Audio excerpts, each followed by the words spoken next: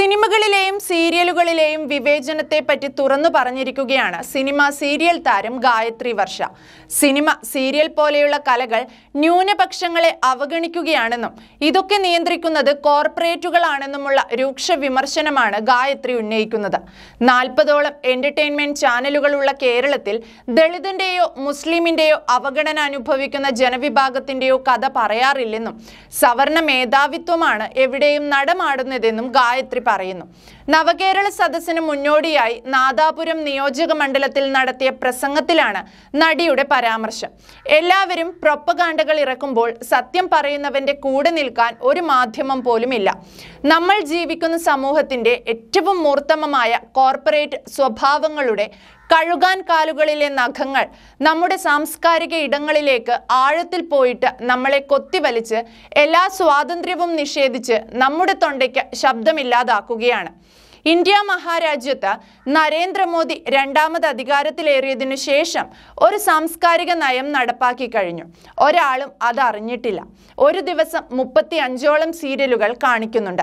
ആറു മണി മുതൽ പത്ത് മണി വരെയുള്ള എല്ലാ സീരിയലുകളും കാണുന്നവർ നമുക്കിടയിൽ തന്നെയുണ്ട്. ഇതിനകത്ത് ഏതെങ്കിലും സീരിയലിൽ ഒരു മുസ്ലിം കഥാപാത്രമുണ്ടോ? ഒരു ചട്ടയും മുണ്ടുമുടുത്ത അമ്മ കഥാപാത്രമുണ്ടോ? ഒരു പള്ളിയിലച്ഛനുണ്ടോ ഒരു ദളിതനുണ്ടോ? മാറുമുറിച്ച് എന്റെ നഗ്നത മറയ്ക്കാനുള്ള അവകാശം എനിക്ക് വേണമെന്ന് പറഞ്ഞ നങ്ങേലിയെയും അധ്വാനിക്കുന്ന ജനവിഭാഗത്തിന്റെ കൊയ്ത്തരിവാൾ പാട്ടുപാടുന്ന ഒരു പെണ്ണിനെയും ടെലിവിഷനിൽ നമ്മൾ കാണുന്നുണ്ടോ? ഇല്ല. എന്തുകൊണ്ടാണിത്? അവരാരും കാണാൻ കൊള്ളില്ലേ? എന്റെയൊക്കെ തലമുറ സിനിമ കണ്ട് വളർന്നിരുന്ന സമയത്ത് ഏറ്റവും വലിയ സുന്ദരി ആരായിരുന്നു എന്ന് ചോദിച്ചാൽ സൂര്യ എന്ന് ഞാൻ പറയും. നല്ല കറുത്ത മേനിയഴകുള്ള നടിയാണ് സൂര്യ. ആദാമിന്റെ വാരിയലിലെ പടനായിക. നല്ല ആർജവമുള്ള പെണ്ണായിരുന്നില്ലേ അവൾ?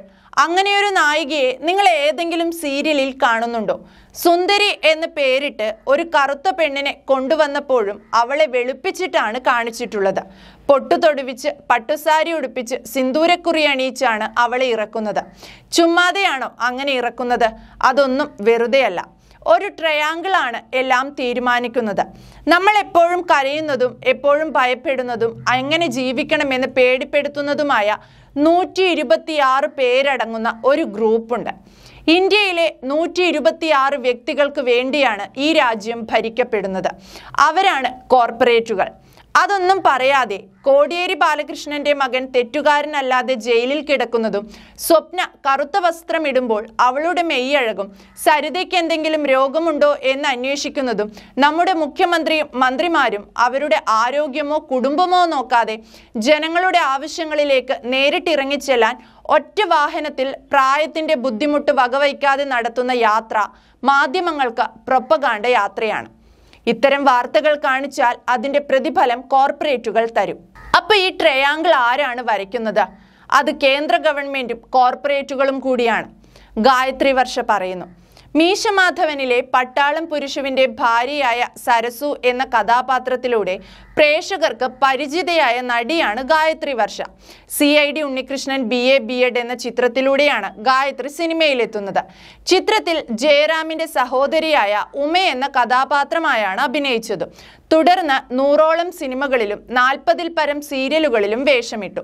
നന്ദനം എന്ന ചിത്രത്തിലെ മടിച്ചിയായ വേലക്കാരി ശകുന്തളയായും പാർവതി പരിണയത്തിലെ ലതികയായും കൊക്കരക്കോയിൽ സുധീഷ് ചെയ്ത കഥാപാത്രത്തിന്റെ സഹോദരിയായ വത്സലയായും ഒക്കെ നിരവധി മികച്ച കഥാപാത്രങ്ങളെ അവതരിപ്പിച്ചിട്ടുണ്ട്.